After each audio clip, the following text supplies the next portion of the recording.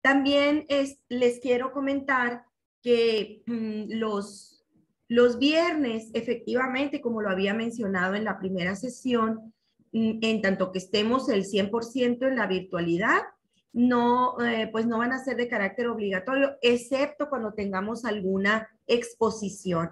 Ese fue mi error. Omití decir que solo cuando tengamos una exposición o un debate, por ejemplo, es que va a ser de carácter obligatoria la reunión del viernes. Eh, de ahí en fuera, incluso puede ser que haya viernes en que no nos veamos. Por ejemplo, el próximo viernes no nos vamos a poder ver porque tenemos una reunión para ir a un, eh, para ir a un congreso virtual. Así es que el próximo viernes no vamos a tener clase, ¿de acuerdo? Ni nos vamos a ver de manera de que yo esté aquí presente por si se les, por si necesitan algún, alguna asesoría para el trabajo. La semana entrante solamente vamos a vernos el, el, lunes, voy a hacer el encuadre, voy a explicar la actividad y será autónomo el resto de la semana para lo que es lenguaje y alfabetización. Y eso sí, recalcar que cuando haya una exposición o un debate o también recuerdan que les comenté que, que probablemente les traiga algún invitado o yo las invite a alguna conferencia. Ah, bueno, pues entonces yo les avisaré el lunes con tiempo para que el viernes este, nos veamos así con carácter de obligatoriedad en el sentido de pasar lista, de hacer comentarios, etc. Bueno, entonces voy a, compartirles un PowerPoint con la finalidad de empezar a dar los turnos para las participaciones de los equipos.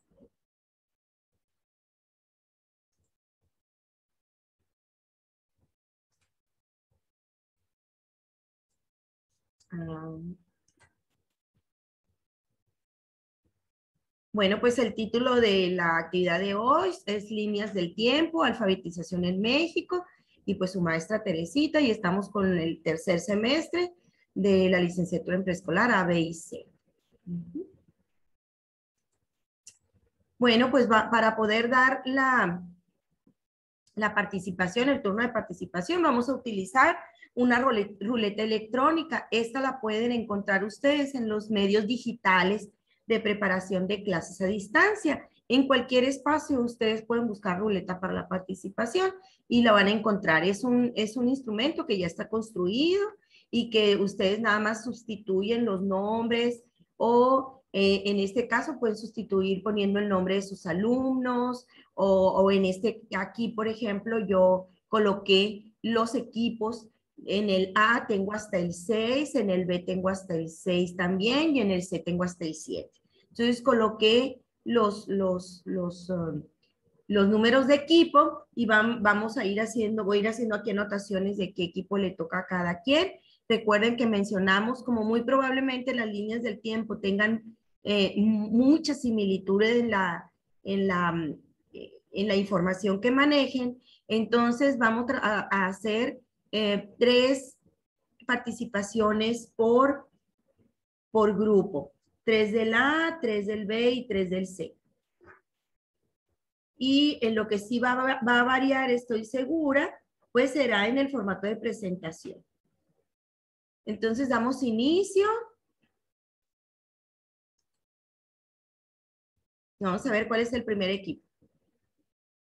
A ver, miren, como yo tengo aquí mi, mi barra de actividades eh, del Zoom, yo no puedo ver. a alguien de ustedes que me diga eh, en dónde quedó la flecha, por favor. Quedó en el equipo 6B. 6B. Muchas gracias. Es que yo con la barra yo no puedo ver. Entonces, la misma persona que me dijo ahorita, ¿quién es? Jennifer. Jennifer, por favor, me dicen los demás, ¿de acuerdo? Ahí va, listo. ¿En dónde quedó? En el equipo 1A. Gracias. Ahí va. me imagino que ya se van preparando.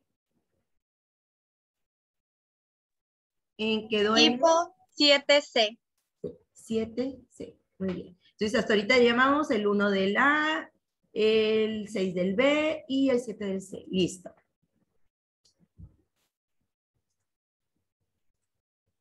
¿Volví a quedar donde mismo? Sí, maestra. En el 6B otra vez. Ok, ahí le vamos a dar otra vez. ¿Y ahora? 6A. En el 6A. Trae suerte los 6. Volvió a salir en el 1A. Ok. Es que como es al azar que uno lo detiene, pues no podemos saber. Ahí está. 4C. Gracias.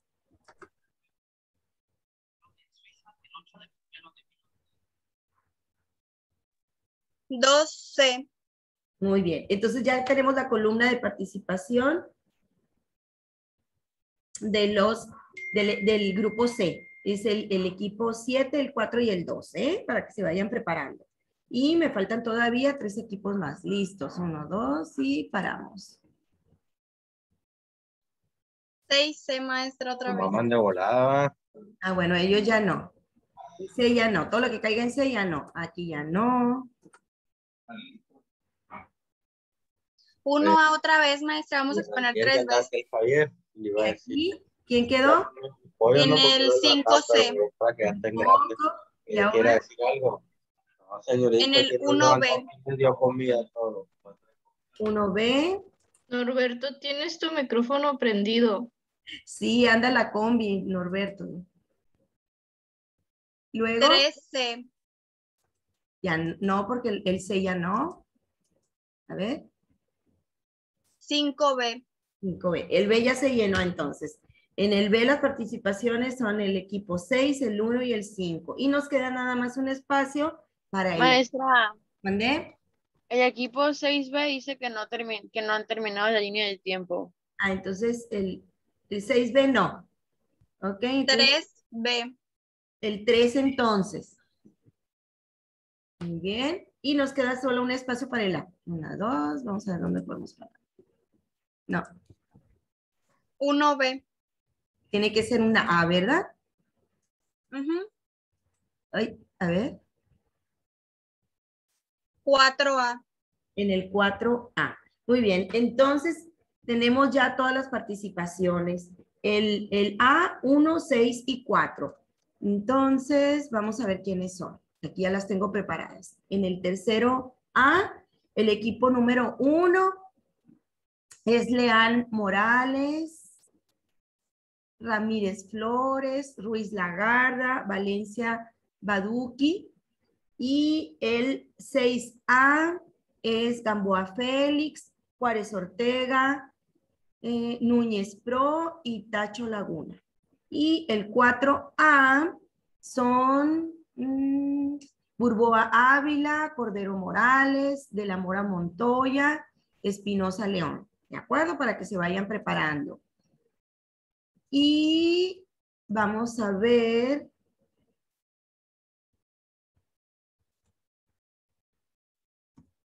Del tercero B, el 3, el equipo 3 es Gil Sáenz, Ramos Hernández, Rodríguez Peralta, Román Sánchez, Ruiz García. El 1, Alonso García, Álvaro Ornelas, Calderón Tanori, Heredia Durán, Ruiz Gaitán.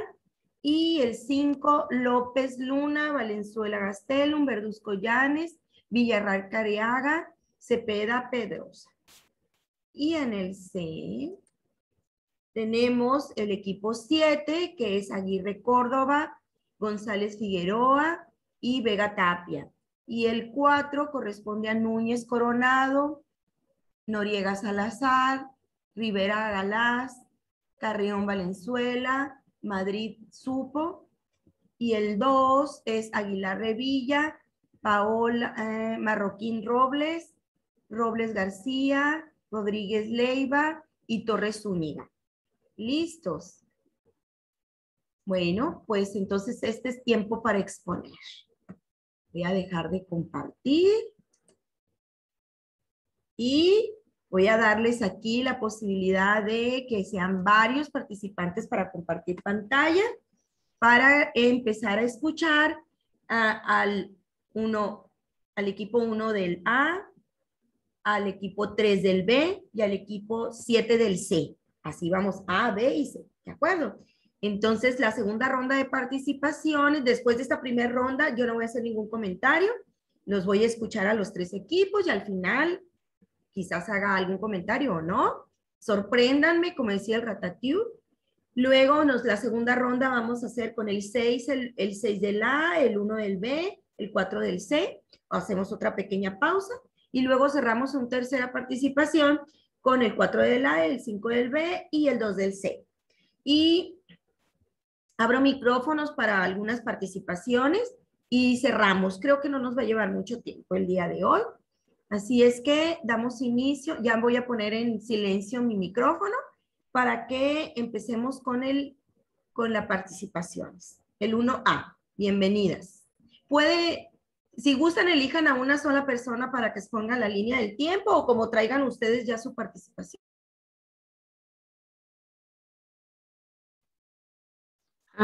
bueno, pues, ay, perdón si estoy, estoy un poquito nervioso, pero... buenos días. Nuestro equipo, pues, es de tercero a preescolar. Somos el primero. Qué buena suerte tenemos.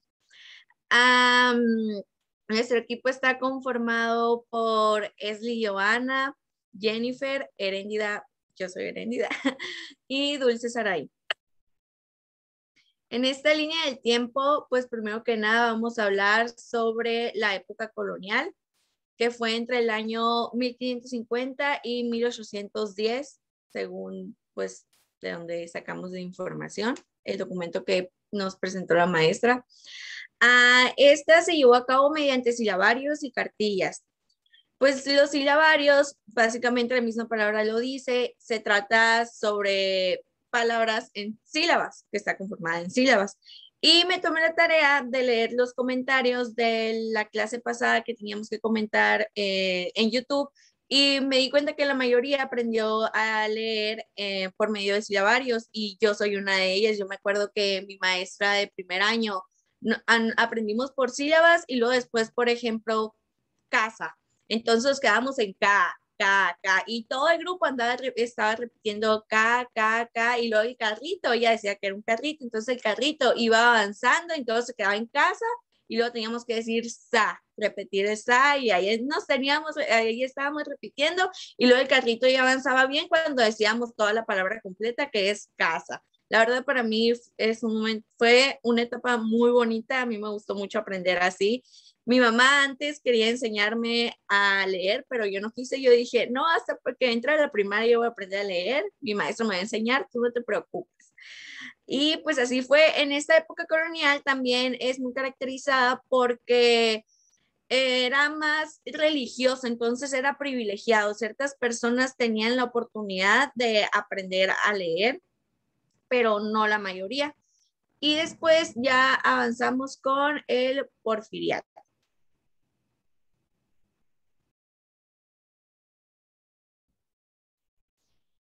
El porfiriato se llevó de 1877 a 1880. En este podíamos ver que el 70% de la población mexicana era analfabeta. Em, porque se había privilegiado a la educación en áreas urbanas, en tanto la mayor parte de la población radicaba en localidades rurales. Y en 1886 se hizo la primera escuela normal en Jalapa, Veracruz.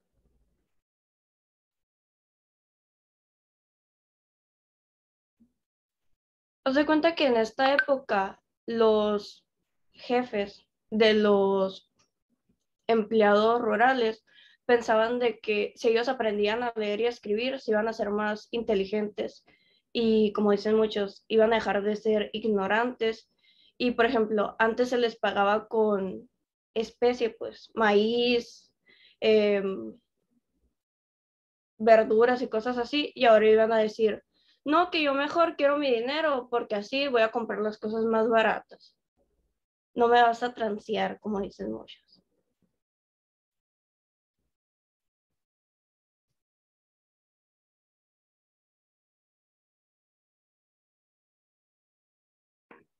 Sigue la época revolucionaria y se decía que, bueno, en el documento que leímos eh, se ingresaba que el método, que, ah, eh, perdón, inició en 1917 y terminó en 2011.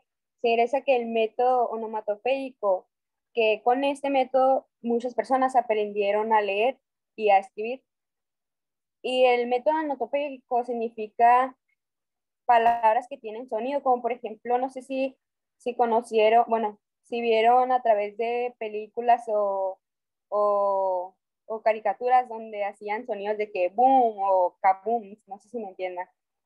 Eso significaba promulgación de la Constitución Mexicana en 1917. En esta época también se, se hablaba que Repsan, Repsamen usaba palabras relacionadas con los intereses de los niños mexicanos en 1917. Repsan fue un educador mexicano. Eh, también encontramos que Babosa difundió eh, pasos técnicos para desarrollar un plan para enseñar palabras normales en 1975. Eh, adaptación de metodología para enseñar la lectura, escritura en México, 1976. También podemos encontrar en esta época creación de movimiento, la nueva escuela en 2003 al 2008.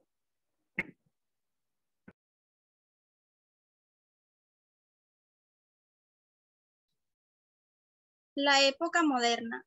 Se dice que la época moderna abarca del 2001 en adelante hasta el 2100, que es lo que estamos viviendo hoy en día. La época moderna se podría decir que es la era de la información y la del conocimiento. Algunos, algunas fechas que encontramos fueron, serán en el siglo XXI, que era de ser analfabeto, tenía que dar unas ciertas desventajas para poder vivir en el siglo XXI por las condiciones en las que se desarrolla siendo uno de los medios necesarios, ya que antes era muy considerado, como se mencionan en épocas pasadas, que la escuela no era para todas las personas. También se podría decir que hay cuenta ciertas personas más podían ir a la escuela y por eso se les cuestionaba analfabeta. Y es por eso que ahora en el siglo XXI, eh, pues ahora pues ya tenemos más, mm, ¿cómo se lo podría explicar? Hay más libertad para, el estudio, ya no se, se, limitan a ciertas personas para poder tener estudio, ya que esto ahora se podría decir que es libremente o pues obligatoriamente para no ser analfabeta. También encontramos que en el 2018 hubo una evolución en el modelo educativo. En el modelo educativo en donde esto pues principalmente el propósito era incorporar de manera cultural y social y económica a toda la población. Lo que quiere decir es que en la propia escuela nos inculcaban ya la cultura, valores, las creencias de nuestra propia sociedad, ya que eso nos hacía creer en pues ciertas partes, por ejemplo, ya sea lo religioso, en la cultura de que nos inculcaban todas las fechas importantes para para poder reconocerlas en, nuestra propia sociedad. Y hasta el momento todavía se sigue viviendo y pues son las fechas que han marcado en la época moderna, pero se podrían aplicar más, por eso lo dejamos inconclusa, ya que aún la estamos viviendo hoy en día. También, de hecho, no sé si se notaron, en las épocas fuimos rotando las imágenes, ya que en todas las épocas iban cambiando desde la forma del mobiliario hasta la época lo que es ahora. Ahora nos guiamos más por los materiales eh, pues didácticos, eh, ya sean el uso de celulares, la tecnología. Ahora es lo que más nos ayuda y pues hoy en día podemos avanzar gracias a eso. Y pues por nuestra parte sería todo. Esperemos que haya sido de su comprensión toda la, actividad. Y sería todo. Muchas gracias. Gracias.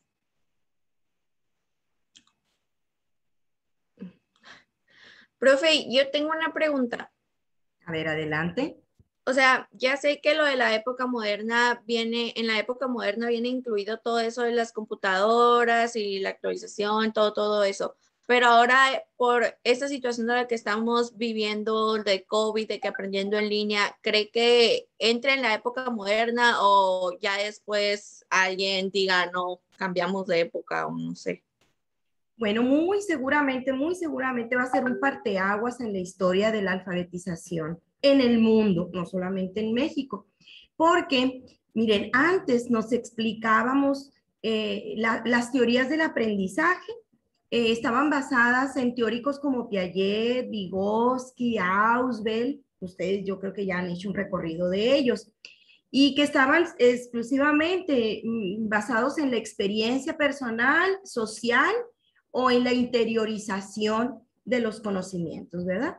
Pero al, al tener que irnos al uso masivo de la educación emergente, se le, se le denomina emergente, dentro de la educación emergente estaría la educación a distancia, la educación en plataforma, la educación a través de, de Internet, la educación a distancia, etcétera. Emergente sería el marco de referencia para lo que se está viviendo en la actualidad.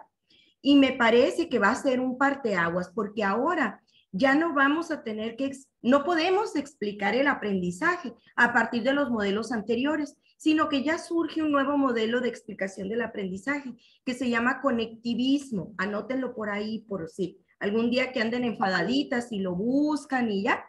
Y el, el teórico principal para explicar este proceso del aprendizaje es George Siemens, así como se escucha, George Siemens.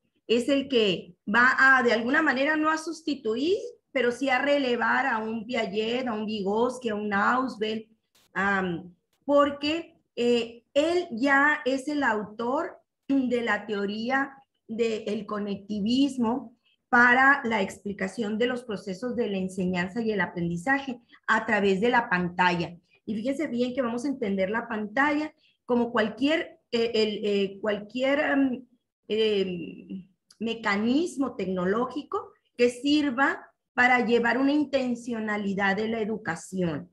La televisión ahorita se convirtió en un medio educativo porque ahí están las clases que se hicieron a través de CEP, ¿verdad? A eso le vamos a llamar educación a distancia. Luego tenemos las plataformas de conectividad como el Zoom, el Meet, etcétera, que a eso le vamos a llamar educación por Internet, ¿no?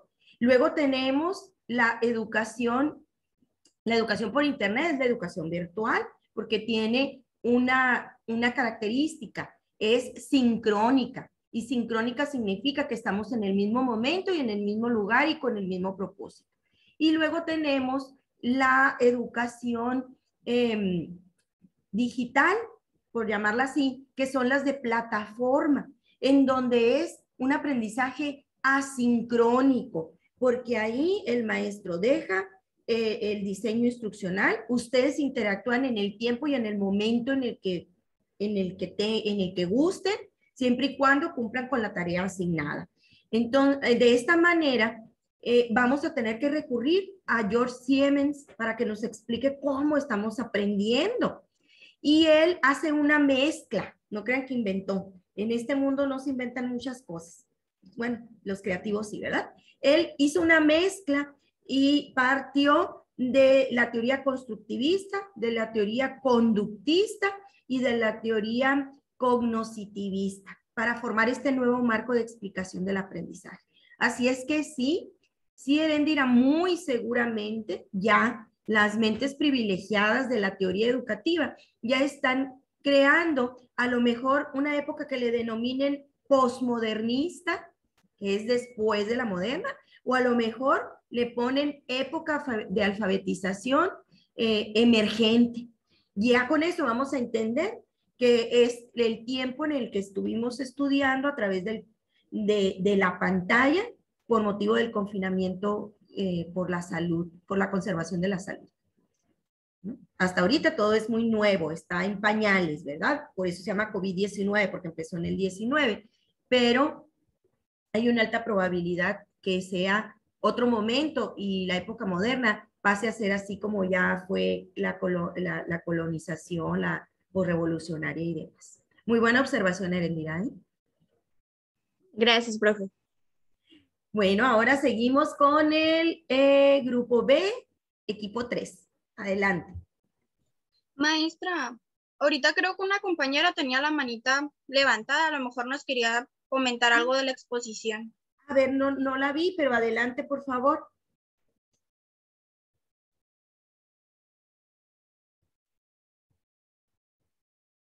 ¿Quién era? A ver, ustedes cuando se, cuando vean algo así, eh, les pido que me, que, que me, pues que me avisen porque tengo un panel de cuatro y a veces no, me distraigo. ¿Ya no? Bueno, a lo mejor al ratito se acuerda. Ahí vayan anotando el nombre de quien pida participación, por favor. Por si se me pasa a darles el turno. Bueno, muchas gracias, Jennifer. Adelante, 3B.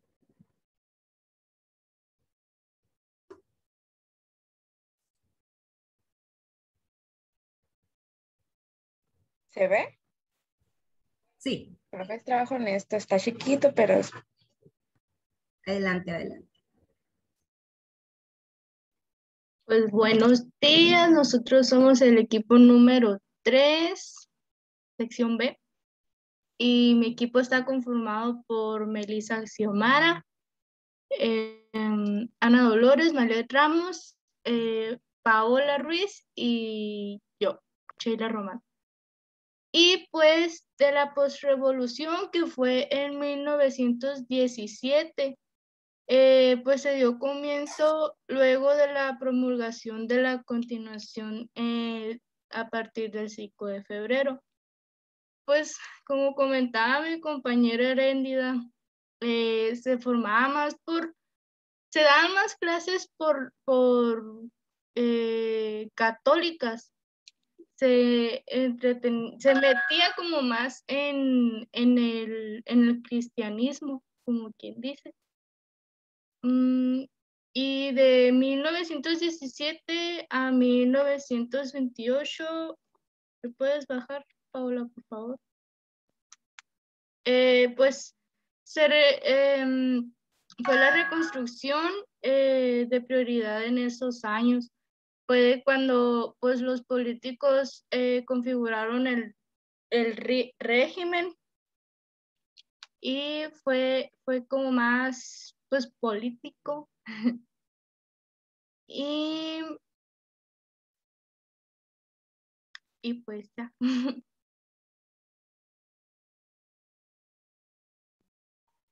En 1950, en la época de la colonia, pues a Nicolás García de San Vicente se le atribuyó uno de los silabarios más utilizados para la enseñanza de la lectoescritura.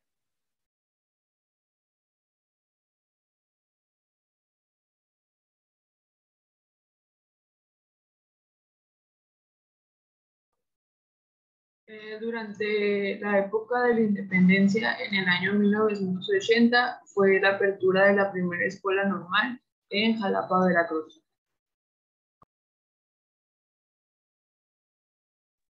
En el enfoque comunicativo y funcional, en 1993, se pretendió el desarrollo de habilidades comunicativas. Y en el 2000 se modifica el enfoque comunicativo funcional adaptado en 1993 y se, y se establece el comunicativo y funcional. ¿Cómo surge la práctica social del lenguaje? Esta organización surge de las finalidades de las prácticas que tiene la vida social. Em, si bien no suele estar críticamente delimitadas para los fines didácticos, que se han distribuido de la manera señalada, que es el ámbito de estudio, el ámbito de, la literatura y el ámbito de la participación social. Gracias.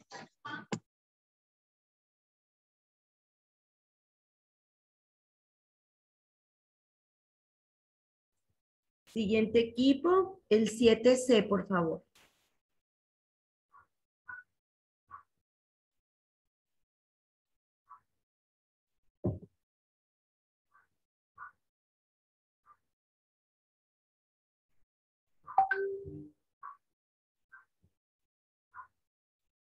¿Dónde están? Ahí está.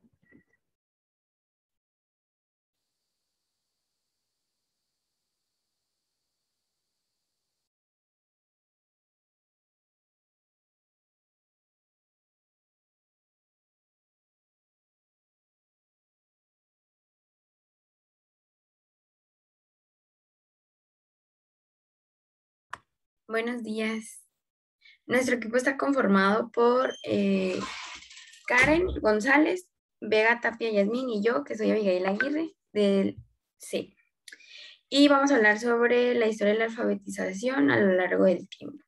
Primero, para comenzar, está la época postrevolucionaria,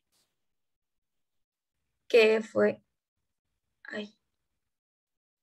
Ah, listo. Es que estaba en otra diapositiva. Primero fue la época colonial, que fue en 1521 a 1821. Eh, como bien han mencionado mis otras compañeras, el acceso a la educación de la época colonial se limitaba a las primeras letras, en las escasas escuelas mantenidas por algunos conventos, parroquias y cabildos. Sin embargo, pocos podían asistir a estos establecimientos, que además no contaban con infraestructuras adecuadas. Así como mencionaron mis compañeras, era más dirigido a los como religiones católicas o cristianas y tenían que tener como estar en un alto nivel para poder ejercer esa educación. Y luego en la época del porfiriato, que fue de 1879 a 1911, en la época del porfiriato la enseñanza de la lectura y escritura empezó a darse mediante una metodología específica, ya que se trajeron maestros extranjeros para que de manera similar a otros países los mexicanos aprendieran. Sin embargo, la gran mayoría continuaba excluida de dichos aprendizajes.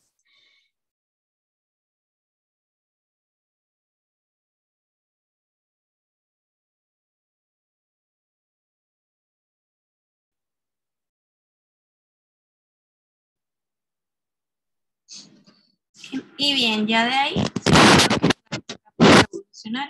que fue en 1928.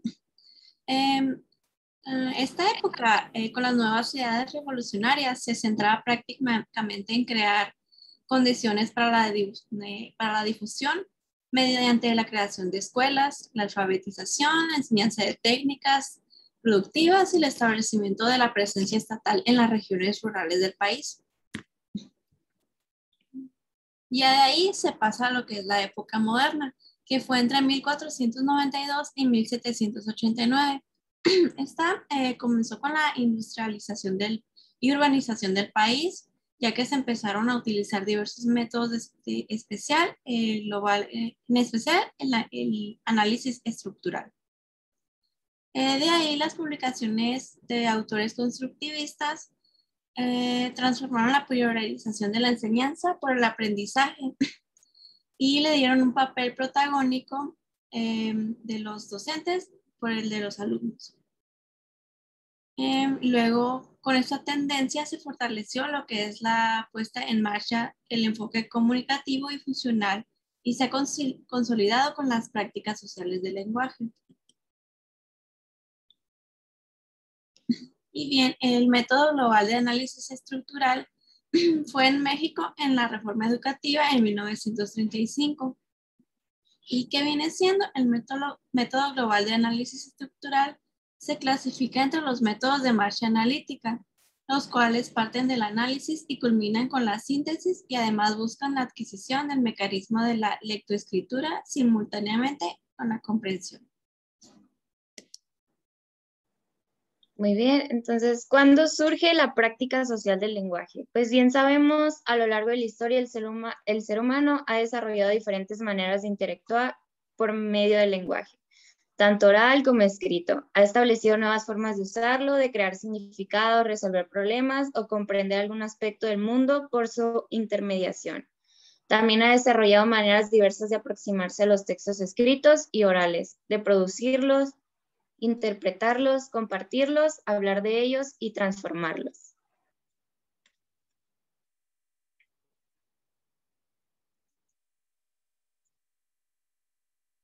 Ok, eh, según la CEP, en 1993 se comenzaron a utilizar los conceptos. Bastante. ¿Por qué, por qué, por qué mamá le decía a tu, este, papá? Porque. Mira tu micrófono abierto.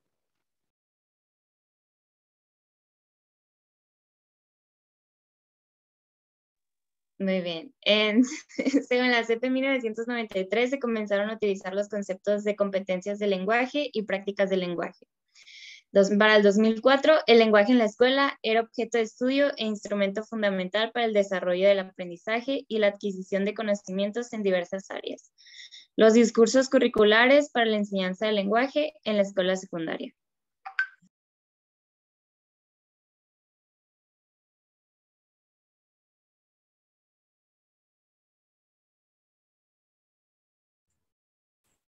Muy bien, muy, muy bien. Un aplauso para ustedes. Puede ser así o puede ser, este es el lenguaje de señas, ¿verdad? O le pueden poner un me gusta ahí. Muy bien, estos primeros, estos primeros tres equipos eh, realmente eh, eh, cumplieron mis expectativas porque algunos incluyeron tópicos distintos a los que pedí o algún detallito diferente. Si nos dimos cuenta, también son se presentaron en, en formatos distintos, entonces hay una diversidad. Excelente. Bueno, ahora, ah, si hay algún comentario para cualquiera de estos equipos por parte de ustedes, ahorita es el momento de, de solicitar participación, levantar la mano, abrir el micrófono, algo que les quieran comentar a sus compañeras del equipo 1A, 3B eh, y 7C.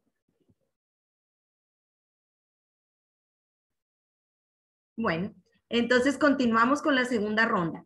Vamos a pedirle al equipo 6A que nos comparta pantalla para ver su línea del tiempo. Adelante.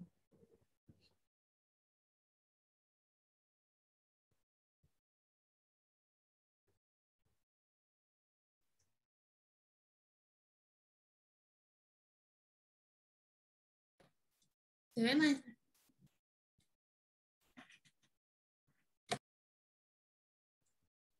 Sí se ve, Valeria. Sí, adelante.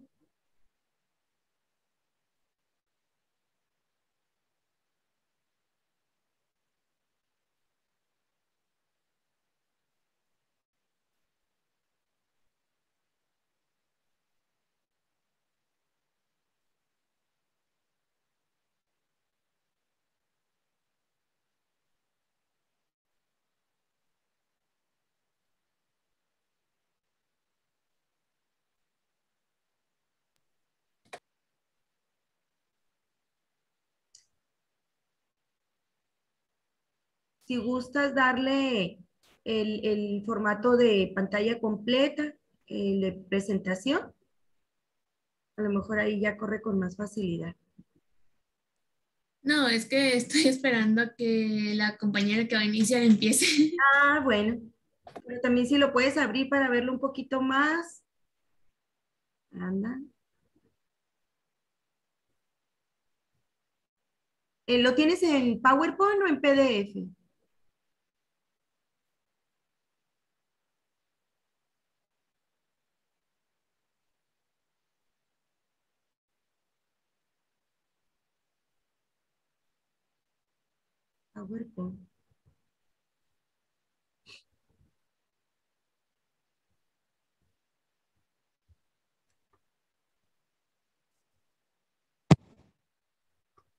Eh, buenos días. Buenos días. Nosotros el equipo 6 del grupo A. Eh, mi equipo está conformado por uh, Núñez Provaleria, Juárez Ortega y Paola, Tacho Laguna Jocelyn y yo Andrea. Eh, pues vamos a hablarles sobre la línea del tiempo, de, sobre la alfabetización. Eh, la época colonial surge a partir de, la, a finales del año 1500, que fue cuando la iglesia era la que tenía el, el poder sobre enseñar a leer y escribir. Se basaba más en enseñarle a los religiosos y los religiosos fueron los que enseñaron al resto de la población por medio de silabarios. Eh, ¿Le puedes bajar, Valeria, por favor?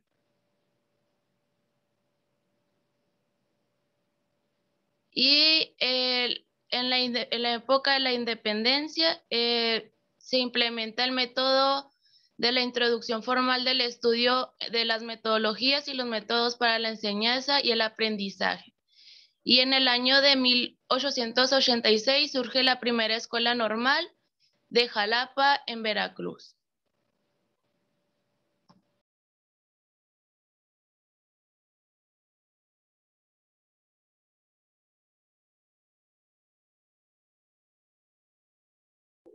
Eh, estamos ya en la época pues, revolucionaria y es de, se escuchan mucho los perros.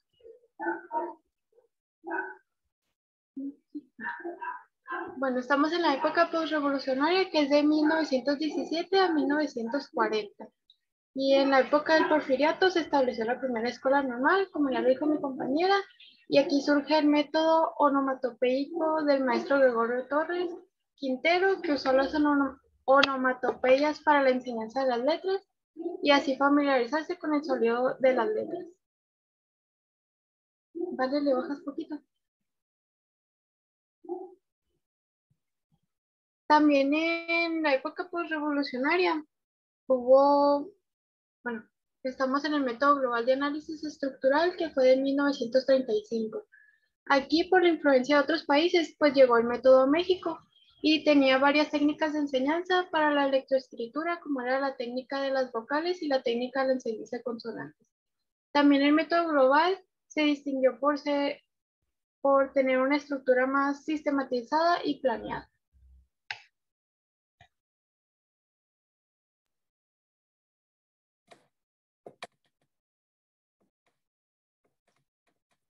Y pues continuamos con el enfoque comunicativo y funcional. Eh, este surgió en 1993 y se centra en estudiar la lengua en uso. Tiene un código de comunicación que tiene comunidad el significado de texto, gracias a, Clan, a Kanglin y Williamson, entre otros autores. Y fue en el año 2000 en el que el enfoque mejora en la capacidad de comunicación, considerando que es pues funcional y se adapta constantemente a la situación de uso. Este método se basa en el hecho de que la comunicación significa proporcionar y recibir información. Por lo tanto, la lectura y la escritura son dos formas de comunicación, además de jugar un papel tanto dentro como fuera de la escuela.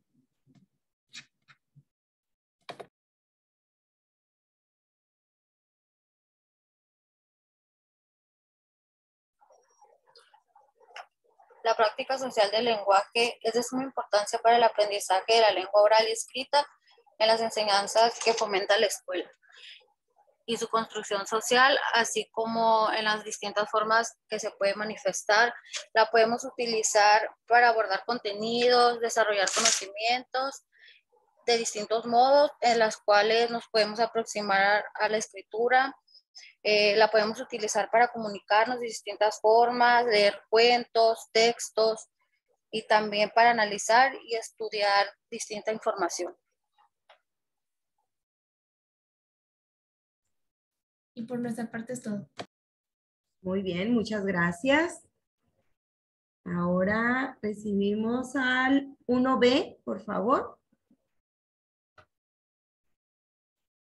Recuerden que después de, la, de esta siguientes dos equipos podemos hacer algún comentario.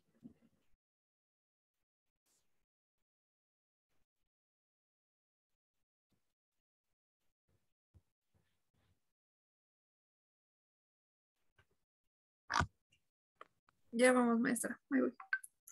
Adelante, adelante.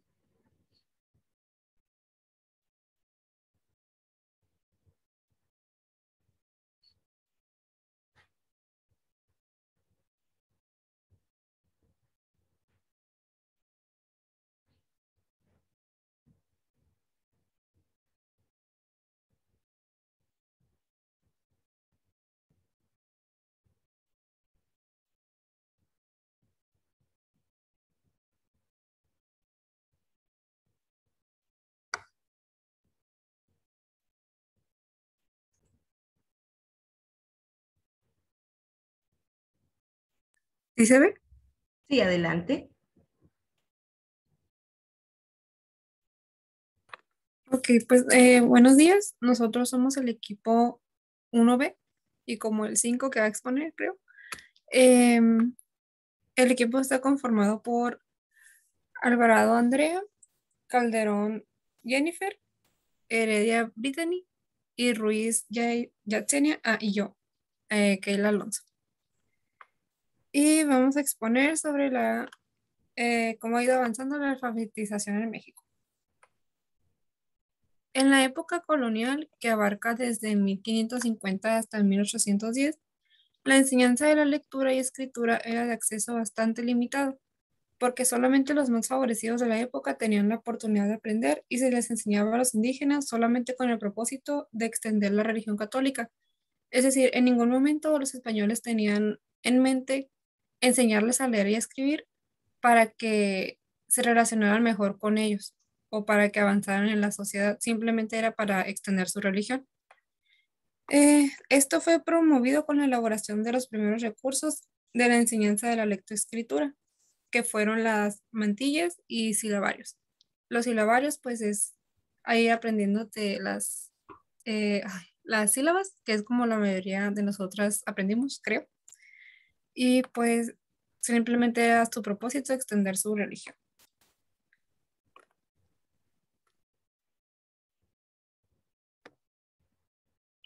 La época de la independencia empezó en 1810. Eh, en esa época la iglesia empezó a perder poder, ya que la influencia la difusión del pensamiento de la ilustración. En 1886, en el caso de México, la introducción formal del estudio de las metodologías y de los métodos para la enseñanza y el aprendizaje se incorporó mediante el establecimiento y fundación oficial de la primera escuela normal en Jalapa, Veracruz.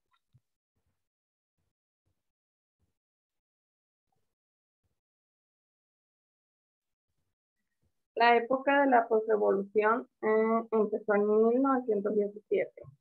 Ahí la constitución estableció como derecho humano la educación.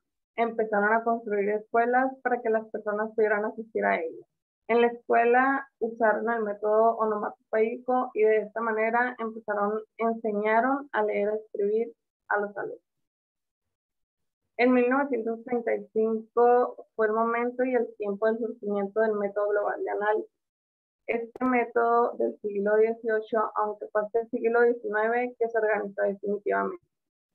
Este método se caracterizó, a diferencia de los anteriores, por una mayor sistematización en su planeación y desarrollo, así como una mayor dinámica en los estudiantes, ya que requería de diversos materiales didácticos, tanto para los alumnos como para los docentes. En, 1982 eh, se da el enfoque comunicativo y funcional. Ferreiro, Soberowski y Lerner, quienes promovieron la priorización de procesos para el aprendizaje de una lectura de comprensión. En el año 2000 se modifica el enfoque comunicativo funcional adoptado en 1993 y se establece el comunicativo y funcional para potenciar la competencia comunicativa, considerando que este es funcional y se adapta de manera constante a las situaciones de uso. Dicho enfoque parte de que comunicar significa dar y recibir información.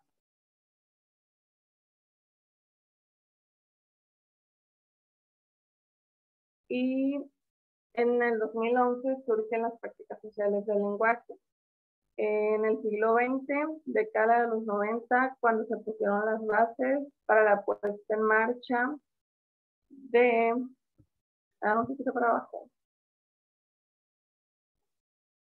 de las políticas neoliberales. Eh, según la CEP, en 2011, las prácticas sociales del lenguaje son consideradas como pautas o modos de interacción que marcan la producción e interpretación de textos orales y escritos. Es decir, al promover el uso del lenguaje y su práctica constante, se pretende que los alumnos avancen en el fortalecimiento permanente de la lectura y la escritura. Y pues esto sería todo en esta parte. Gracias.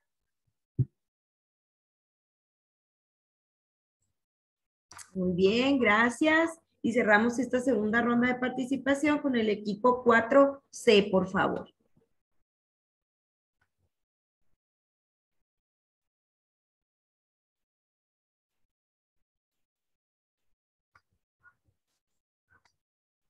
Maestra, somos nosotros nomás. vamos a empezar a compartir pantalla. Muy bien, adelante.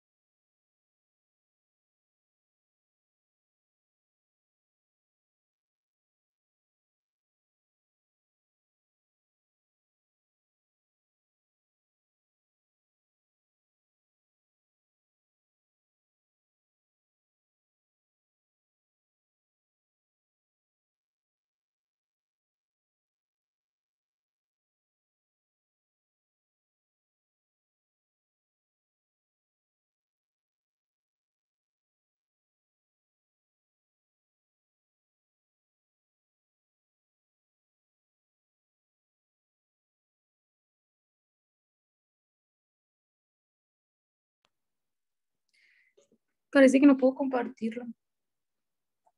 ¿Me podrían decir si aparece algo en la pantalla? Ahorita, apareció. Ajá. Sí, pero Bueno, ahí lo voy a volver a poner y me dicen si se ve.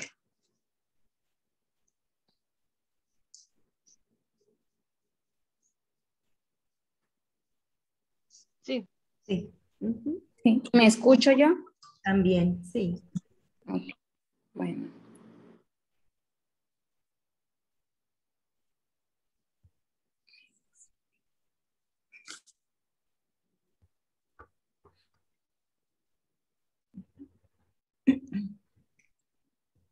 Ah, ya, ya puso alguien más, ¿verdad? Ahí está. Ok, bueno. Eh, pues buenos días. Eh, mi equipo está conformado por Cecilia, Carol, Carolina, Nidia y Joana. Pues el día de hoy les vamos a exponer sobre la historia de la enseñanza y la escritura. Pues primeramente, en la época de la colonia, se consideraba necesario enseñarlos a leer y escribir con el fin de promover la religión católica. Eh, con una mantilla promovía la memorización del alfabeto y la integración de las primeras sílabas, palabras y oraciones. En esta época, pues, eh, se implementó el silabario de San Miguel o de San Vicente, el cual, pues, era compuesto por 38 lecciones.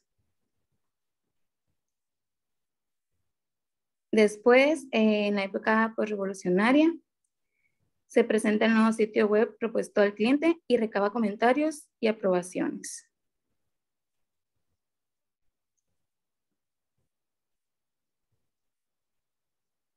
Eh, siguió con independencia. En esta pues llegó la escuela nueva, en la cual los maestros dejaron de ser sujetos que imponían de manera arbitraria y tangente los conocimientos y valores. Eh, para ahora ser los promotores animadores para despertar el interés y la pasión por el conocimiento. En la época del porfiriato, pues se estableció la primera escuela normal y por ende el estudio formal de la metodología y los métodos para la enseñanza. Por lo tanto, se introdujeron métodos para la enseñanza, la lectura y escritura. En el porfiriato, pues también se manejó el método Robson por Vogel. Eh, se iniciaba con la enseñanza de 50 palabras. Estas representaban ideas muy familiares al niño de una o dos sílabas al máximo. Eh, después se implementó la priorización de las políticas sociales del lenguaje. En esa se precisa supuesta... Ay. Eh, en esta se precisa su puesta en práctica en situaciones reales. Eh, esto es dado a la necesidad de, necesidad de utilizar la enseñanza y de aplicar, utilizar lo aprendido en la escuela, dentro de la sociedad, eh, para resolver los problemas de la vida. Después se implementó el enfoque comunicativo funcional, el cual comienza a realizar diseños interactivos para corregir el sitio. En esto pues incluye ajustes y revisiones del diseño. Después implementó el método sintético analítico y globalizadores, el cual comienza a realizar diseños interactivos para corregir... Ay, creo que repetimos aquí. bueno, incluye y revisiones de diseño. Disculpe, maestra, no sé qué, qué problema técnico tuvimos ahí. Y pues por último, en la reforma de los 90, pues la alfabetización y la utilización de medios para la enseñanza de lectura y la escritura, eh, pues estuvieron enfocados más a quienes las promovían. Pero pues sin embargo, a través de las diferentes etapas evolutivas, los alumnos fueron teniendo cada vez mayor importancia y pues por eso tuvieron un papel más protagónico. Pues por nuestra parte sería todo, maestra. Muy bien. Eh, les voy a pedir que si ya subieron el, documento, lo, lo, quiten para que hagan la corrección en lo que se refiere al método sintético analítico y globalizador, ¿de acuerdo? Para que su... Sí, pero aún no subimos. o si aún no lo han subido, bueno, antes hagan esa, eh, esa precisión, por favor. Muy bien, bueno, pues les vamos a dar un aplauso a los tres equipos, 6A, 1B y 4C por su participación, lo hicieron muy bien. Este, les pedimos que dejen de compartir pantalla, por favor, para poder vernos en, en, todos los que estamos ahorita y darle, hacer algunos comentarios. Eh, podemos ver que eh, nuevamente se presentan modelos diferentes, incluso están utilizando algunas de ustedes las famosas infografías para la elaboración de, de este, Mm, no, mm. no puedo quitarte la pantalla. A ver, en la parte de abajo, ahí donde dice compartir pantalla, eh, vete a la parte superior de tu pantalla y debe de decir dejar de compartir. Ay, no sé dónde. Mm, en, eh, en la parte superior está, déjame ver, ¿estás viendo una línea verde? Sí. Ah, ok. Luego dice ver opciones, ¿verdad? Ahí dale un clic donde está la flechita hacia abajo. Y ahí debe decir eh, dejar de compartir. A ver, voy a intentarlo yo desde acá. Ahí está. Pues no lo encontraba. Sí, es que así es el Zoom, ¿no? A veces y se moderniza y bueno, ahí le vamos encontrando poco a poco. Como cuando recién empezaron las computadoras, este, nosotros que somos eh, migrantes digitales, le teníamos miedo hasta picarle una de las teclas, ¿no? Hasta que después entendimos que si la desprogramábamos, lo más fácil era que la volvieran a, a programar y que solamente interactuando con el medio vamos a poder aprender. Así es que eh, nos presentan información también diferente, en pequeños rasgos, nos muestran esquemas distintos. Así es que muy bien, cumplieron con la expectativa. Un aplauso para todas ustedes, quienes hayan hecho estos tres trabajos, les quedaron muy bien. Hay que hacer unas sencillas precisiones que ya se marcaron en este último ejercicio y vamos a dar eh, inicio a la última de las rondas, ¿de acuerdo? Que es con el equipo 4A, 5B y 2C. Adelante.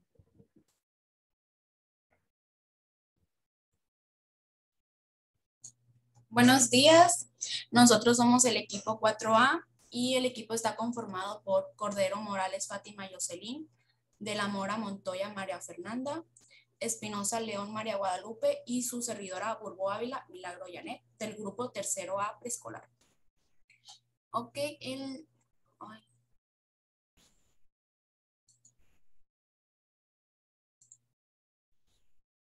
El día de hoy vamos a exponer sobre la historia del alfabetismo y mi compañera María Espinosa va a comenzar con la época colonial.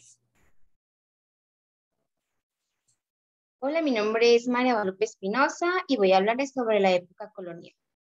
La época colonial se dio de 1521 a 1821. Se empezó por enseñar a leer y escribir a los sacerdotes con el fin de promover la religión católica. El mismo año, la alfabetización se llevaba a cabo mediante dos técnicas, las mantillas, con el fin de integrar el alfabeto, palabras, oraciones y sílabas y el silabario, conocido como el silabario de San Miguel, con el fin de promover la lectoescritura. También se tomaba más en cuenta la enseñanza que el aprendizaje. Se utilizaba el castigo como un método de memorización. Y ahora yo voy a explicar sobre la época de la independencia. Comenzó de 1810 a 1821 y comenzó el movimiento de la nueva escuela dejando atrás a la escuela tradicional y el alumno pasó a ser los protagonistas en su educación y los docentes pasaron a ser las guías y facilitadores en la educación de sus alumnos. Y fue fundada, la escuela normal fue planeada para ser una institución en la que formara futuros maestros, ya que antes no existía como tal una institución en la que formara docentes, porque antes, con el simple hecho de terminar la primaria o secundaria, ya podías impartir la educación. La ver, em, de hecho, hoy en la mañana estaba platicando con mi mamá de que de eso de que cualquier persona que termina la primaria o la secundaria ya podía ser maestro y le estaba preguntando que si cuando si fue si terminara la primaria y la secundaria y me dijo que que de hecho no, no conozco muy bien la fecha exacta, pero como que de antes era ya terminando la primaria, ya podía ser maestro y ya después, años después, era terminando la secundaria. Y la escuela normal fue dirigida por Enrique Conrado Repsamen, disculpen si no pronuncio bien su apellido, porque tenía experiencia por haber trabajado en Alemania en una escuela normal. Él fue un educador suizo que influyó mucho en, en el sistema educativo actual y Vogel enseñó alrededor de 50 palabras que fueran familiares para los niños. Enrique Repsamen se basó en el, en el método de Vogel.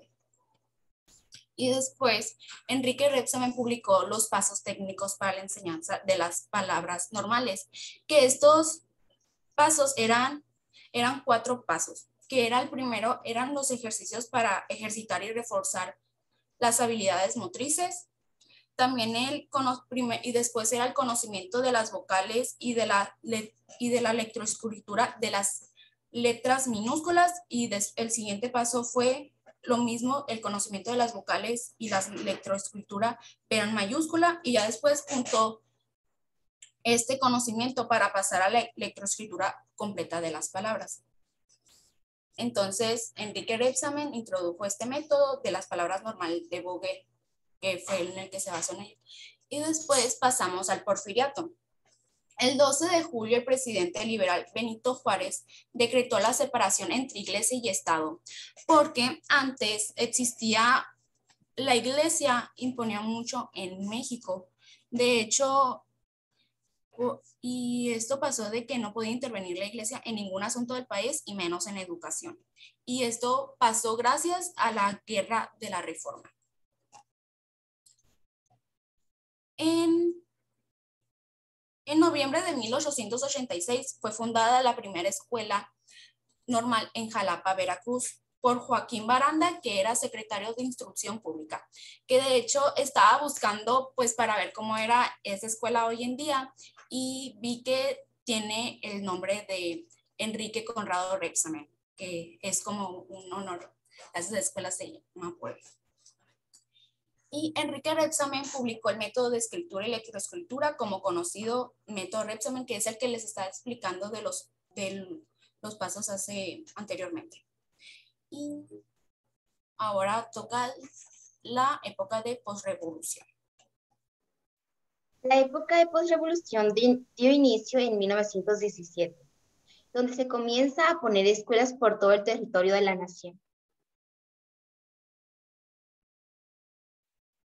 En el, mismo año, 1917, el 5 de febrero, el presidente Venustiano Carranza decretó en el artículo tercero de la Constitución Política de los Estados Unidos que la educación debe ser laica y gratuita. En 1948, la Asamblea General de las Naciones Unidas aprobó la Declaración de los Derechos Humanos, en la que reconoce la educación como un derecho.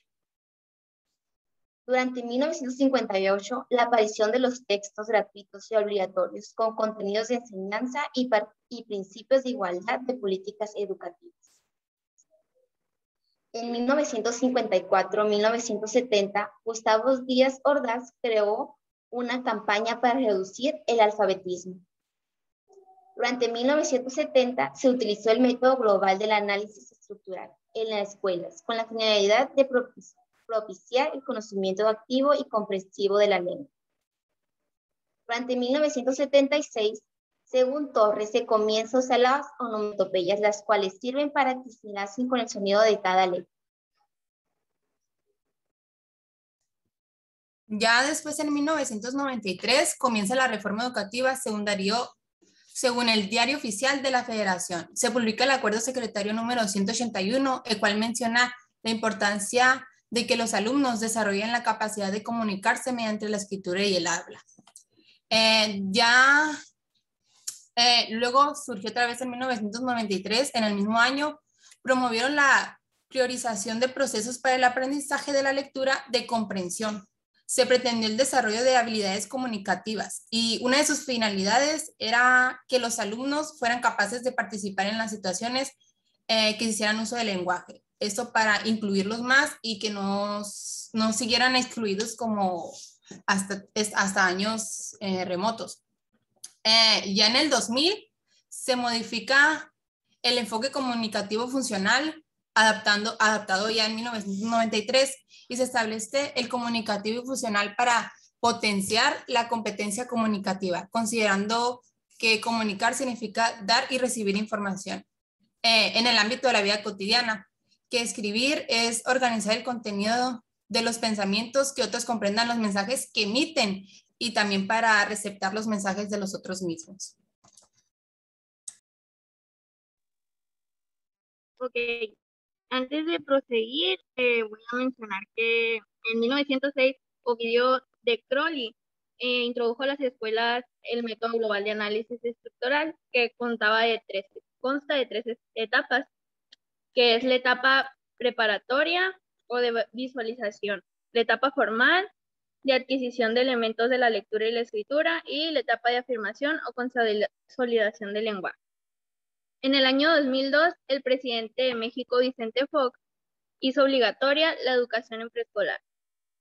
En el 2006, el plan y programa de estudios comenzó a poner énfasis en las prácticas sociales del lenguaje, como enfocándose en la formación social de los alumnos.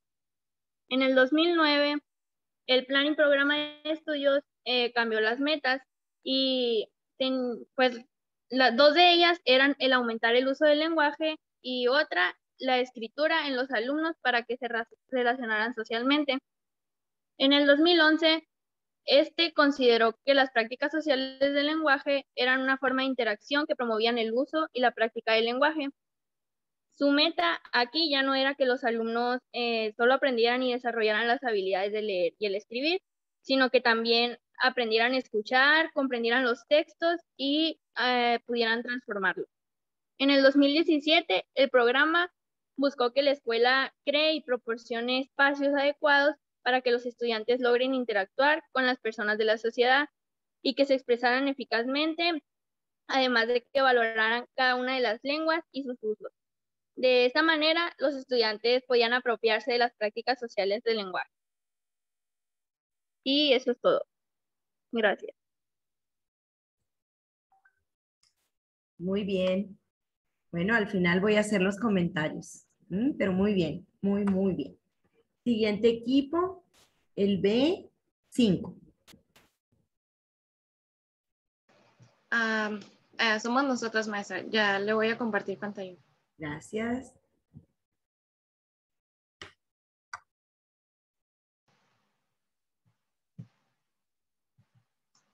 Ah, ¿Sí se ve?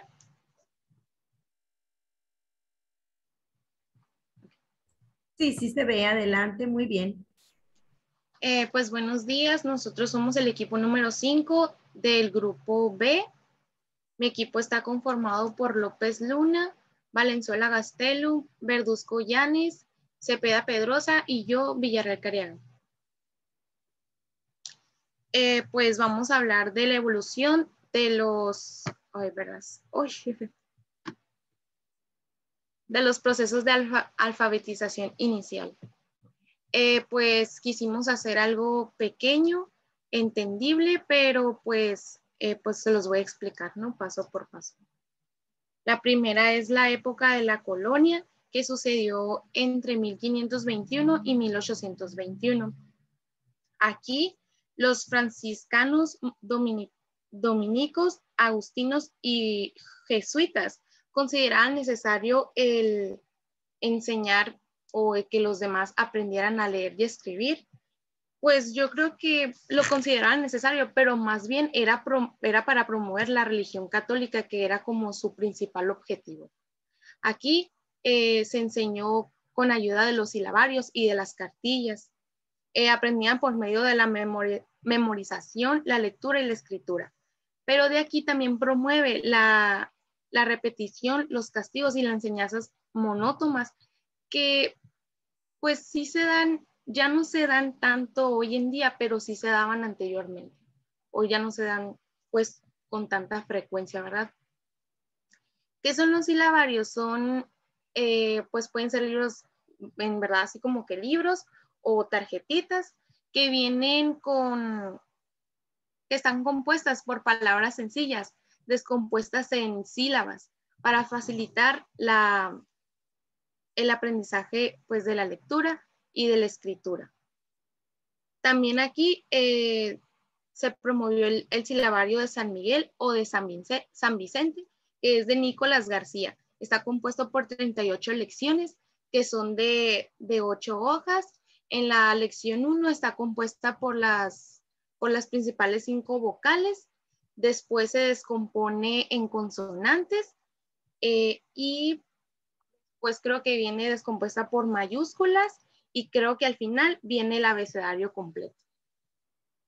Seguimos con la época del porfiriato, que sucedió entre 1877 y 1880, y luego le siguió de 1884 a 1911.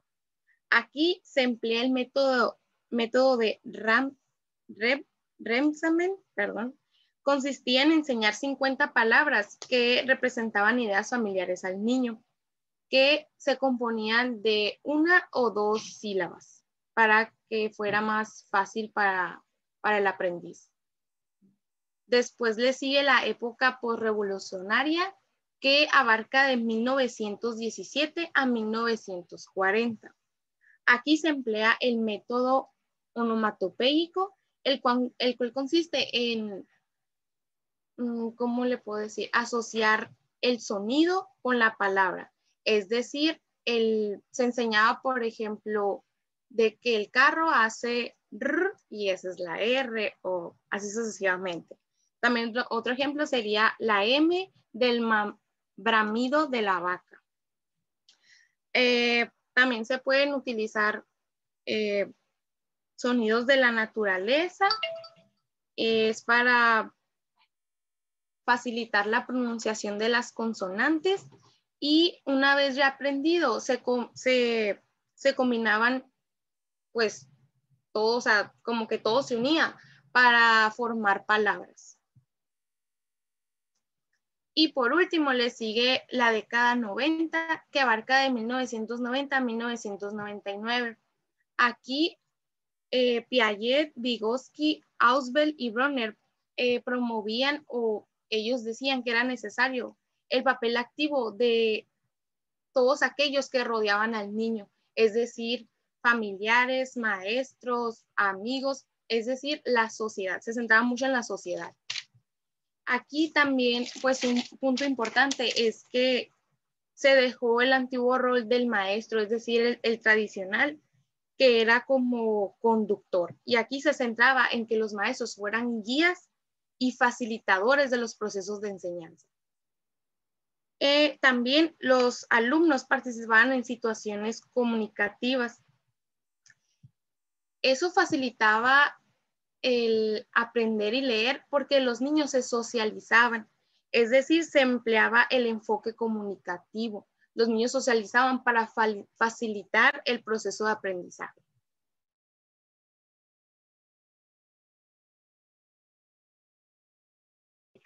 Y que se haya entendido. Pues muchas gracias por, por la atención. Muy bien, muy, muy bien. Este, a ver, me dice que tengo conexión inestable, ya no sé porque tengo datos. Ahí me dicen si me congelo, me echan un gritito. Bueno. Se escucha y se ve bien, Ah, bien, entonces está queriendo jugar mal este internet. Vamos con el último de los equipos de esta ronda, que es el 2C. Somos nosotras, ahí comparto pantalla. Perfecto.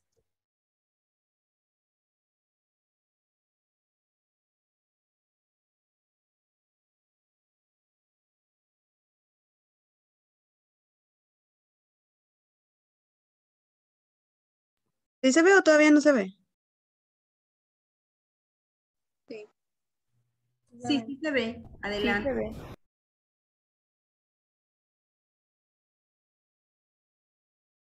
Muy bien. Buenos días, nosotros somos el equipo 12, que está conformado por la Aguilar Revilla, Martín Robles, Robles García, Rodríguez Leiva y Torres Zúñiga.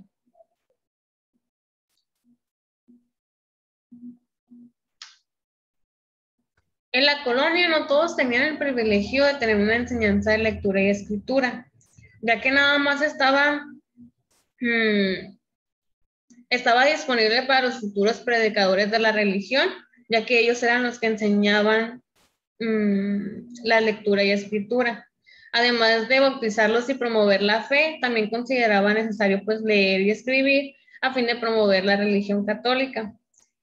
En 1500, Fray Pedro de Gante elaboró la primera mantilla para la enseñanza de la lectura y escritura.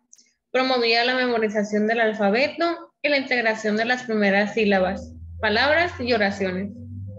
En 1971, Nicolás García de San Vicente se le atribuye uno de los silabarios que más utilizaron para la enseñanza de la lectoescritura en el mundo de habla hispana el cual fue ampliamente conocido como silabario de San Miguel o de San Vicente. Dicho silabario está compuesto por 38 lecciones. En la primera aparecen los cinco vocales ordenadas en cinco series distintas, de tal manera que en cada serie aparece una vocal diferente, con la finalidad de poder memorizarlas tanto de manera vertical como horizontal. En la lección 2 se presentan las consonantes B, F, M, P, V y. En la parte de abajo de cada una de ellas se formaban columnas de en orden, las consonantes y la integración de sílabas. Em, en, las lecciones 3 y 4, las consonantes... Uy. Ay, se me movió. Las consonantes D, L, N, R y S. En la 5, la C, la C, la CH, Z y N. En la 6, la Y, la G y H. Así como la utilización de diéresis en la 7, en el abecedario completo. En la 8, las primeras palabras separadas por un guion la lección 9 a la 15, la combinación de sílabas, de la 16 a la 23, las letras mayúsculas, de la 24 a la 38, palabras y la utilización de guiones.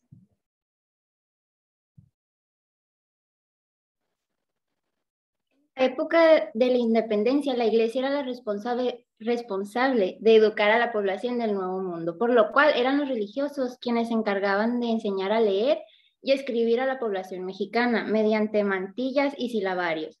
Sin embargo, tiempo después la iglesia empezó a perder poder, por lo que existió una influencia para el movimiento denominado Escuela Nueva, el cual promovía una fuerte crítica a la manera en la que se desarrollaban los procesos formativos en la educación tradicional. En 1886 se fundó la primera escuela normal en Jalapa, Veracruz, comenzando la introducción formal del estudio de las metodologías y de los métodos para la enseñanza y el aprendizaje. Enrique Repsamen seleccionó las palabras familiares a los intereses de los niños mexicanos, mientras Barbosa difundió los pasos técnicos para el desarrollo del Plan General para la enseñanza de las palabras normales.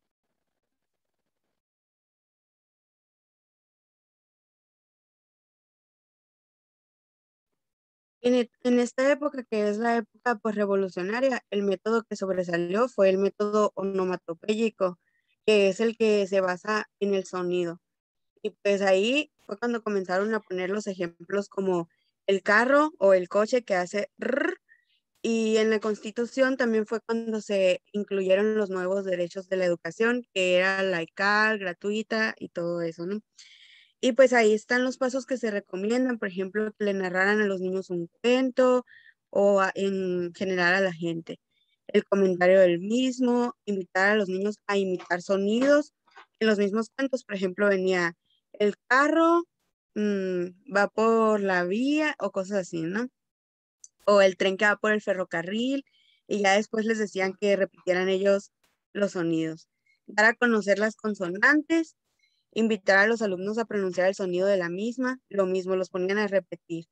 Y, y todo siempre lo ligaban a otras palabras.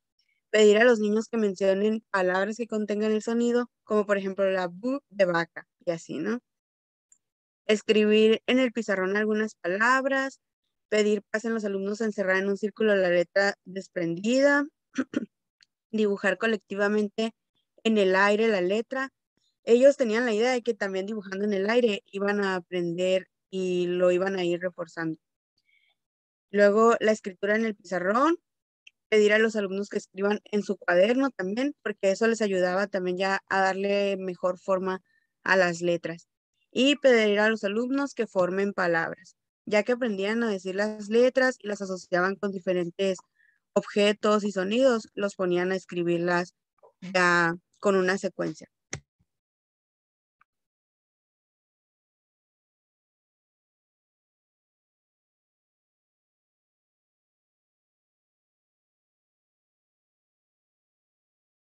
El método global del análisis estructural es, es- está inspirado en la filosofía del artículo tercero de la Constitución Política de los Estados Unidos. Este dice que la educación em, va a ayudar al, al niño a desenvolverse en su aspecto ya sea físico, intelectual, emocional. Y para lograr esto se necesita que participe en los problemas eh, sociales y en el medio ambiente en el que se desarrolle. Este eh, se apoya en la percepción del habla y en la comunicación oral que es producida en, distintos, eh, en distintas situaciones como son eh, los amigos, la familia y etc. Está integrada en tres etapas, que es la preparatoria o visualización, la etapa formal de adquisición y de los, alimentos, y de los elementos de lectura y la escritura, y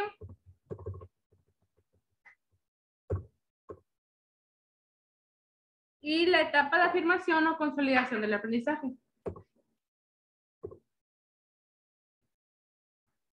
El enfoque comunicativo y funcional está elegido según la CEP y se pretendía el desarrollo de habilidades comunicativas. La, el propósito de este era que los alumnos participen en distintas situaciones gracias a propósitos eh, específicos inter, interlocutores eh, que se hacía que el aprendizaje de interacción eh, pues se daba mediante un, un, enfoque comunicativo. Las finalidades es que los alumnos eh, ya estén participando en, en distintas em, en distintos lugares en distintas, en distintas situaciones em, en las cuales sea pues eh, de uso del lenguaje. En el año 2000 se modificó para así poder potenciar la competencia comunicativa y así es considerada que es funcional y se adapta más a, la a, la, a las situaciones.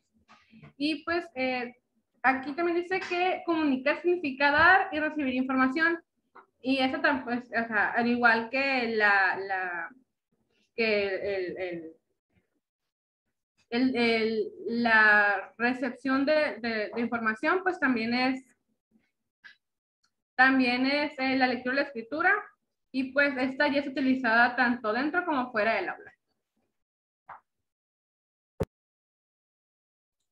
Las prácticas sociales del lenguaje. A lo largo de la historia se han desarrollado distintas formas de comunicarnos por medio del lenguaje, ya sea oral o escrito. Se han establecido nuevas formas de usarlo, creando significados, al igual que también hay diversas formas de aproximarse de textos escritos y orales. Las prácticas sociales del lenguaje han cambiado la forma de organización de textos. Esto repercute en las modalidades de lectura. En la antigüedad griega y latina no se utilizaban espacio entre las palabras, ni títulos, ni párrafo, ni puntuación, ya que los lectores practicaban un tipo de lectura muy diferente al que nosotros estamos acostumbrados. La puntuación fue considerada como parte de autoría en un texto hasta el siglo XIX.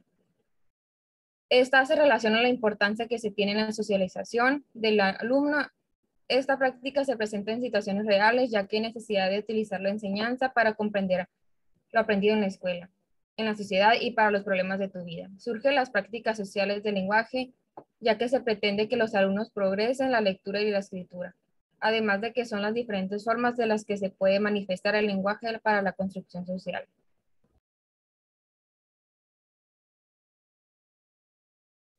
Pues eso sería de nuestra parte, gracias. Y aquí están nuestras referencias. Ay, no se cambia.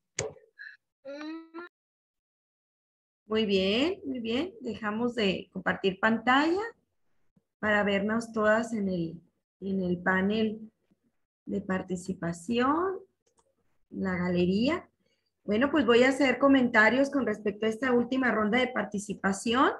Eh, al igual que los anteriores, un aplauso para todas, estuvo muy bien, superadas mis expectativas, sobre todo porque en esta última ronda se hicieron énfasis en dos puntos muy importantes que eh, los demás también retomaron, pero este, a partir de la señalización en los diferentes momentos y que uno de ellos es el interés sobre las escuelas normales, ¿no? En el equipo 4A, en donde hicieron un recorrido muy amplio de cómo se fundaron las escuelas normales en nuestro país y cómo han ido evolucionando a lo largo del tiempo Realmente es algo fascinante la historia de la educación normal en nuestro país, alumnas.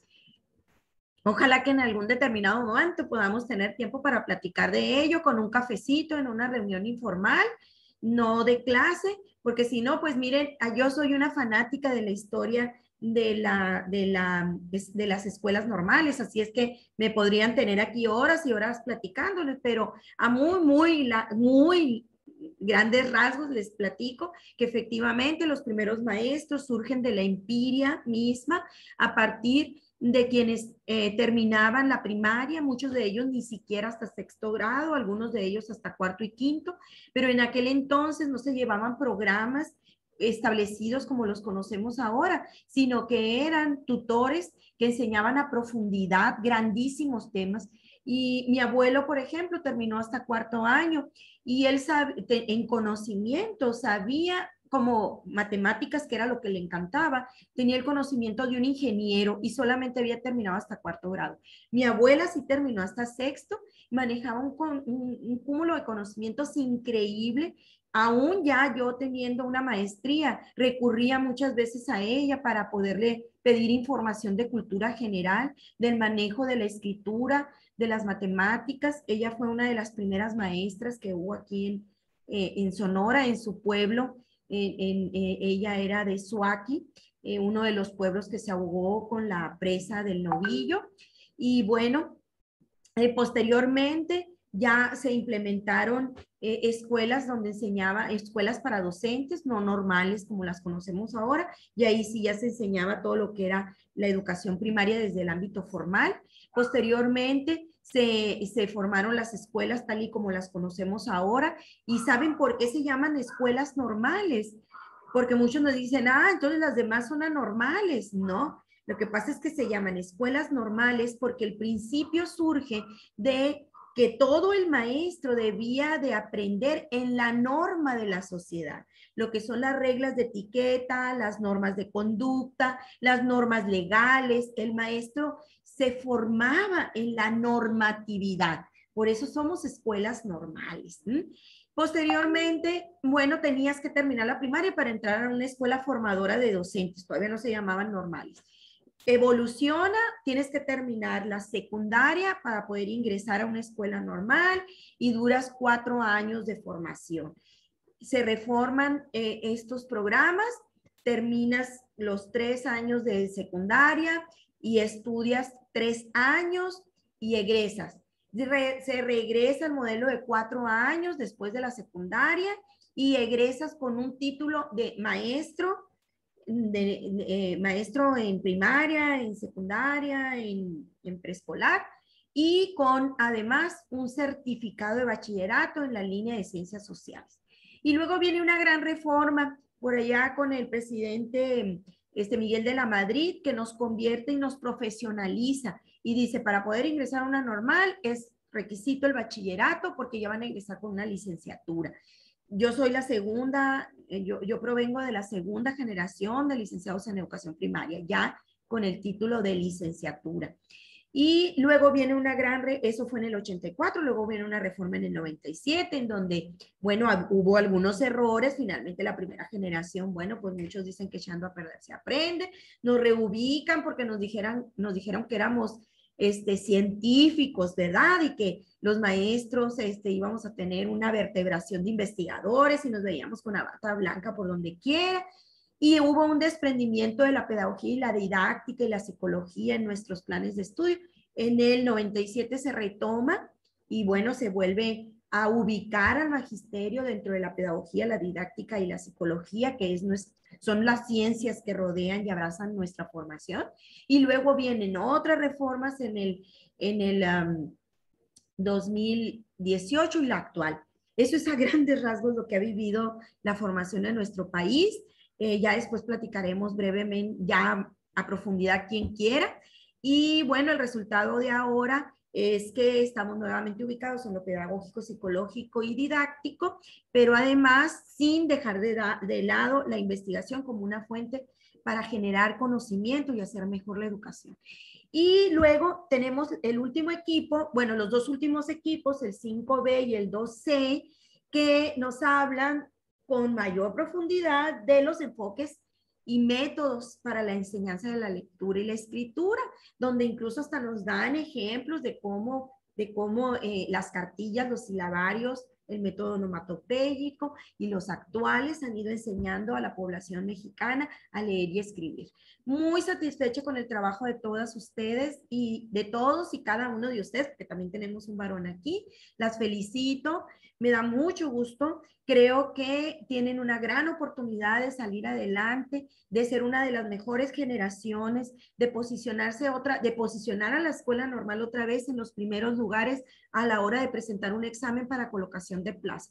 Ahorita desgraciadamente no estamos en esos primeros lugares, pero confío en que ustedes sí nos reposicionen nuevamente. ¿Cómo? A través del esfuerzo, del trabajo arduo, de no conformarse con lo poquito, de siempre buscar lo más, de hacer el esfuerzo hasta lo más profundo, aunque se sientan cansadas, aunque a veces digan, mira, la maestra Teresita nos pone a trabajar dos veces a la semana, o cómo es posible que nos pida una exposición si la entregues hasta las 8, 9, 10 de la noche. Pues lo siento, pero me va a dar mucho gusto, lo siento, pero los voy a traer, las voy y los voy a traer con el chicotito en la mano, porque es la mejor manera en que ustedes puedan salir adelante después. El sacrificio de cuatro años se va a ver recompensado con una buena, con un buen lugar a la hora de hacer un examen y que puedan elegir su plaza y tener plaza. Porque preescolar, desgraciadamente, aparte de ser el pilar fundamental de la educación en nuestro país, tiene muy poquitos espacios. Y más para los que quieran tener una plaza estatal. Los federales sí hay más jardines de niños. Así es que es un compromiso personal que todas ustedes y Norberto saquen los primeros lugares para, para selección de una plaza dentro de tres años cuando estén presentando el examen, porque no quiero a ninguna que se me quede más allá eh, o en los últimos lugares. Hoy por hoy, la única manera en que ustedes vayan a tener un buen resultado y no es para prepararlas para que hagan un buen examen, es prepararlas para que puedan dar una respuesta ante cualquier eventualidad teórica y práctica que se les presente a lo largo de su vida profesional. Así es que no se conformen con lo menos, exijan lo más, sacrifíquense. Sí, el sacrificio siempre da buenos resultados. Lean, prepárense, alístense. De todas maneras, el lunes ya avisó el director en el grupo de los maestros que la normal va a ser el arranque del, del nuevo ciclo escolar. En la normal vienen autoridades federales, estatales, de esas que hace mucho que no están frente al grupo y que creen que todo es muy facilito. Va a estar la gobernadora, va a estar la Secretaría de Educación Pública, va a estar el rector, va a haber autoridades sindicales, va a estar en la escuela, pero con los maestros nada más. Em, van a tener que empezar a levantarse. Hay las que son muy coquetonas y no quiero a nadie cuando ya les dé clases, por favor, no quiero a nadie este, este, con el ojo pegado ahí, las quiero con carita muy lavada, con boquita pintada, bien peinaditas, limpiecitas, guapas, bonitas. A las 7 de la mañana, si es que las que son, eh, em, eh, que se peinan, que se ponen la, plancha, el, ferro, no sé cómo se llama, se tendrán que levantar a las 5 de la mañana para estar a las seis y media más tardar en la escuela, a las 7 pasar lista, y eh, Así es que empiecen a levantarse temprano. Las que nomás se lavan la cara y se van muy bonitas y muy lindas, pero no así con ferro, ni maquillaje, ni nada, pues si viven cerquita de la normal, a las seis va a estar bien, porque en media hora, algunas son expertas de alistarse en media hora, ¿no? Pero bien, bien, bien, representen a la, al magisterio desde que son, desde que son estudiantes. La, recuerden que el amor empieza por la vista.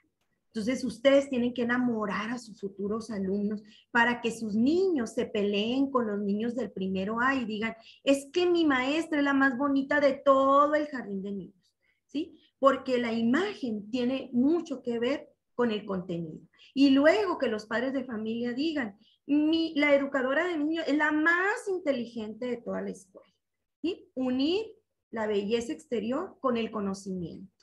Así es que les doy una, les mando un abrazo, tengan muy bonito fin de semana. Fue una exposición excelente. Estoy segura que, que ahora, bueno, el fin de semana, que revise todas las líneas del tiempo van a ser extraordinariamente buenas. No espero menos de ustedes. Espero muy buenos contenidos, espero muy buenas imágenes y no quiero menos, quiero lo más. Recuerden que lo, lo, lo, lo mínimo, no, eh, eh, lo básico no significa lo mínimo y tienen que ser exigentes con ustedes mismas. Es la única manera de que salgan adelante, para que después, igual que yo, se ganen una beca para estudiar en España. Yo estudié en España un máster, ya casada y con chamacas. Y cásense con un hombre que las entienda, que valore, no que les diga, ay, pues si tú eres maestra, ay, eres educadora. Y al final el hombre vive hasta de las educadoras y de las maestras. No es mi caso porque me casé con un maestro Así es que busquen un maestro para casarse. Van a tener dos sueldos seguros, dos sistemas pensionarios seguros, las mismas vacaciones.